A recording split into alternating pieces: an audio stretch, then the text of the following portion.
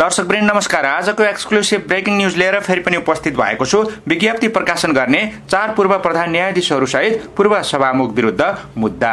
अदालतमा विचाराधीन मुद्दा प्रभावित गर्ने गरी विज्ञप्ति प्रकाशित गरेको भन्दै सर्वोच्च अदालतका चार पूर्व प्रधान न्यायाधीशहरू विरुद्ध सर्वोच्च अदालतमा अवहेलना मुद्दा दर्ताको निवेदन पेश भएको छ। पूर्व प्रधान न्यायाधीशहरू मीन बहादुर रायमाझी अनुप्राज शर्मा कल्याण श्रेष्ठ र सुशीला कार्की विरुद्ध अदालतको अवहेलना मुद्दा दर्ताको निवेदन पेश भएको हो। कुमार शर्माले अवहेलना सम्बन्धी मुद्दा दर्ताका लागि निवेदन दिएका हुन्। चार पूर्व प्रधान न्यायाधीशहरूले प्रधानमन्त्री केपी शर्मा ओलीले गरेको प्रतिनिधि सभा विघटनलाई असंवैधानिक भन्दै विज्ञप्ति निकालेका थिए। संविधानको धारा छिहत्तरले मन्त्री परिषद गठन गर्ने सिलसिलामा वा सो प्रायोजन बाहेक अर्को अवस्थामा संसद विघटन गर्ने अधिकार नदिएको भन्दै वक्तव्यमा भनिएको थियो। आकर्षित नहुने धारा ग्रहण गरी प्रतिनिधि सभा विघटन गरिएको पाइन्छ। उनीहरूले संसद विघटनलाई वैधानिकता दिए संवैधानिक दिशाविहीनताको अवस्था सिर्जना हुन सक्ने तर्फ सचेत गराएका छन्। वक्तव्यमा भनिएको थियो संविधान कार्यान्वयन गर्दा संविधान विपरीत संवैधानिक निशान्तरणलाई मान्यता दिने हो भने संविधानको कुनै पनि संरचना वा प्रावधान दुरुपयोग हुन सक्ने भई संवैधानिक दिशाविहीनताको आयाम सिर्जना हुन सक्ने भय रहन्छ। ढुङ्गाना विरुद्ध पनि मुद्दा। यस्तै पूर्व सभामुख दमना ढुङ्गाना विरुद्ध पनि अदालतको अवहेलना मुद्दा दर्ताको लागि निवेदन पेश भएको छ। ढुङ्गानाले संविधानको भावना विपरीत फैसला गरे न्यायाधीशहरूलाई सड़कबाट तान्ने अवस्था आउने अभिव्यक्ति दिएका थिए। यसै गरी अर्को एक्सक्लुसिभ ब्रेकिङ न्युज आएको छ। प्रधानमन्त्री विरुद्ध अवहेलना मुद्दा दर्ता हदैसम्म कारवाहीको माग। प्रधानमन्त्री केपी शर्मा विरुद्ध अदालतको अवहेलना गरेको भन्दै कारवाहीको माग गर्दै मुद्दा दर्ता भएको छ। सर्वोच्च अदालतमा अधिवक्ता द्वय डाक्टर कुमार शर्मा आचार्य र कञ्चन कृष्ण न्यौपानेले मुद्दा दायर गरेका हुन्। मुद्दा दर्ता भएको सर्वोच्चका प्रवक्ता देवेन्द्र ढकालले जानकारी दिएका छन्। वरिष्ठ अधिवक्ता डाक्टर कुमार शर्मा आचार्यले प्रधानमन्त्री जस्तो जिम्मेवार पदाधिकारीले अदालत र इजलासको सम्मान गर्नुपर्ने भए पनि इजलासलाई निन्दा र हास्यको विषय बनाएको तर्क गरेका छन्।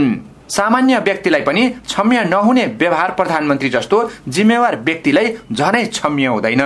त्यसैले म कसैको तर्फबाट पनि वकालत नामा नलगाएर अदालतमा विचाराधीन प्रतिनिधि सभा विघटन सम्बन्धी मुद्दामा तटस्थ बसेको एक जिम्मेवार कानून व्यवसायीले विपक्षीको अमाराधित बोली र व्यवहारले अदालतको अवहेलना भएको महसुस गर्दै अदालत र इजलासको साग बचाउन आफै यो निवेदन गर्न आएको छु।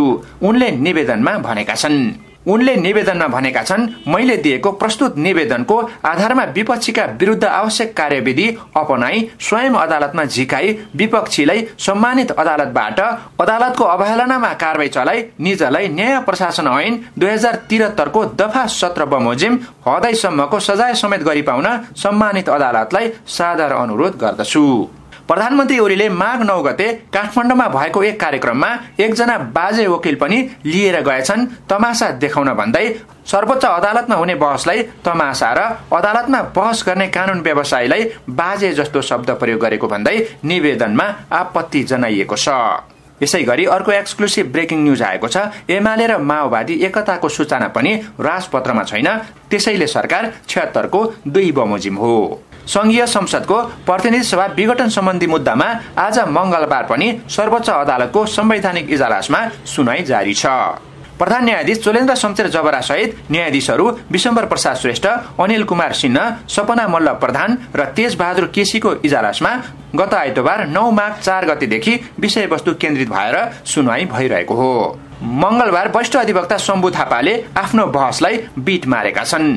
सोमबार डेढ घण्टा बहस गरेका थापाले मंगलबार पनि करिब डेढ घण्टा नै समय लिएर बहसलाई टुङ्ग्याएका हुन्। त्यसपछि वरिष्ठ अधिवक्ता सुरेन्द्र महतोले बहस गरेका छन्। उनले अहिलेको सरकार छिहत्तरको उपधारा दुई बमोजिमको बनेको जिकिर गरे। एमाले र माओवादी एकता भएको कुरा पनि राजपत्रमा आएको छैन।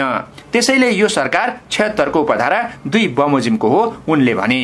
धारा छिहत्तर दुई भन्छ उपधारा एक बमोजिम प्रतिनिधि सभामा कुनै पनि दलको स्पष्ट बहुमत नरहेको अवस्थामा प्रतिनिधि सभामा प्रतिनिधित्व गर्ने दुई वा दुई भन्दा बढी दलहरूको समर्थनमा बहुमत प्राप्त गर्न सक्ने प्रतिनिधि सभाको सदस्यलाई राष्ट्रपतिले प्रधानमन्त्री नियुक्त गर्नेछ। तत्कालीन नेकपा एमाले र माओवादी केन्द्रबीच दुई हजार चौरात्तर असोज सत्र गते भएको छ बुधे सहमतिले वाम गठबन्धन बन्यो। यो गठबन्धनले दुई हजार चौरात्तर मङ्सिरमा भएको निर्वाचनमा बहुमत ल्यायो यही जनमतका आधारमा दुई हजार चौरात्तर फागुन तीन गते प्रधानमन्त्री ओली नियुक्त भए। दुई पार्टी बीच एकता भने दुई हजार पचहत्तर जेठ तीन गते भयो। यही कारण राष्ट्रपति विद्यादेवी भण्डारीले संविधानको धारा छिहत्तर दुई बमोजिम ओलीलाई प्रधानमन्त्रीमा नियुक्त गरेकी थिइन्। त्यो बेला ओलीलाई तत्कालीन संघीय समाजवादी पार्टी र राष्ट्रिय जनता पार्टीले पनि समर्थन गरेका थिए। यसै गरी अर्को एक्सक्लुसिभ ब्रेकिङ न्युज आएको छ देउबालाई लतार्दै पौडेल ओली विरुद्ध आन्दोलन चर्काउने। प्रमुख प्रतिपक्षी दल नेपाली काङ्ग्रेसको केन्द्रीय कार्य समितिको बैठक बस्दैछ। आजको बैठकमा प्रधानमन्त्री केपी शर्मा ओलीले संसद विघटन गरेको विषयलाई देशभरि आन्दोलन चर्काउने विषयमा महत्वपूर्ण निर्णय गर्ने बुझिएको छ। ओलीले गत पुस पाँच गते प्रतिनिधि सभा विघटन गर्ने निर्णय गरेका थिए। त्यसको विरुद्धमा नेकपा दाहाल नेपाल समूह आन्दोलनमा छ। नेकपा दाहाल नेपाल समूह मात्रै नभएर जसपा नेपाल पनि आन्दोलित छ। प्रमुख प्रतिपक्षी दल नेपाली काङ्ग्रेस भने आन्दोलन चर्काउने वा सामान्य विरोध गरे जस्तो गरेर चुनावको तयारीमा होमिने भन्नेमा अन्यलतामा देखिन्छ।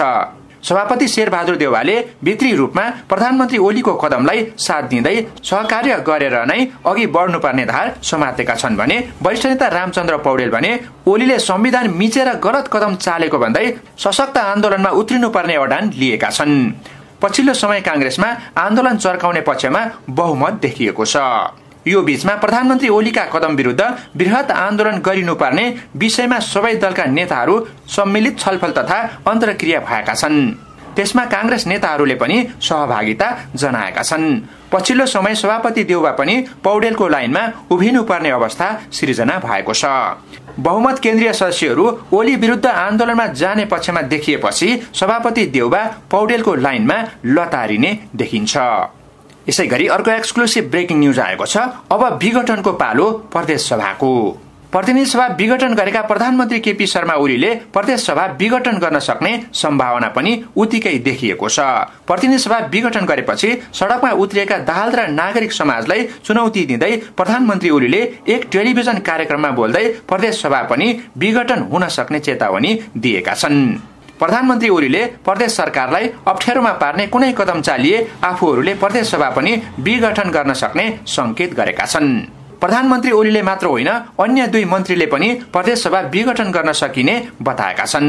प्रधानमन्त्री ओलीले नै भूमि सुधार मन्त्री शिवमया तुम्बाङफे र उद्योग मन्त्री लेखराज भट्टलाई प्रदेश सभा पनि विघटन हुन सक्छ भन्न लगाएका थिए। संविधानमा प्रदेश सभाले सरकार दिन नसक्ने परिस्थिति सिर्जना भएमा सार्वभौमिकता भौगोलिक अखण्डता राष्ट्रियता वा स्वाधीनतामा गम्भीर असर पर्ने कार्य भएमा मात्र प्रदेश सभा विघटन हुन सक्ने व्यवस्था छ। तर सरकार बन्न सक्ने विकल्प रहेको अवस्था र राष्ट्रियतामा असर पर्ने कार्य नभएमा प्रदेश सभा विघटन हुन नसक्ने संविधानविदहरूको भनाइ छ। संविधानको धारा एक सय अडसठी र दुई सय बत्तीसमा प्रदेश सभा विघटन सम्बन्धी व्यवस्था छ। नयाँ नयाँ भिडियो हेर्न अनलाइन सब्सक्राइब गर्नुहोस् र बेल बटन थिच्नुहोस्।